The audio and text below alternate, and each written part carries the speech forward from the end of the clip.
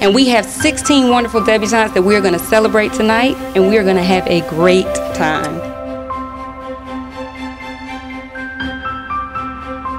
Job well done. These are some phenomenal young women, and that is a testament to all that you've done to raise them, to really motivate them.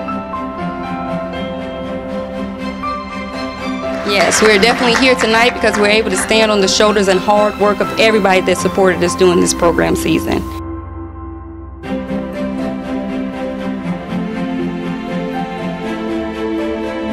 What a privilege it really is to be amongst all of these amazing young ladies this evening.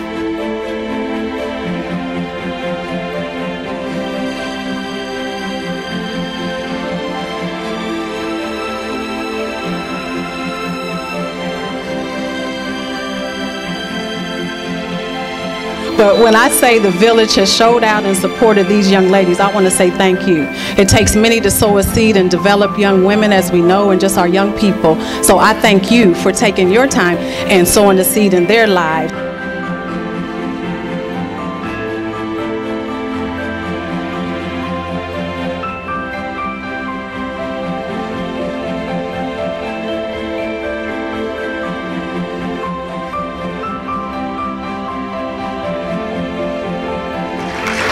And so this is our grand finale. We are here and we're going to have a great time.